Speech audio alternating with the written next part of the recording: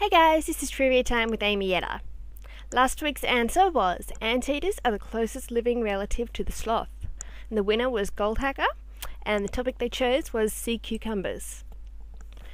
So the question is how do sea cucumbers reproduce? Sexually, asexually, fission, both sexually and asexually, both sexually and fission, or both asexually and fission.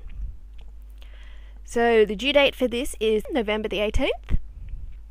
And the first correct answer chooses the next question topic. Answers must be accompanied by a topic, otherwise I will choose. Until next time.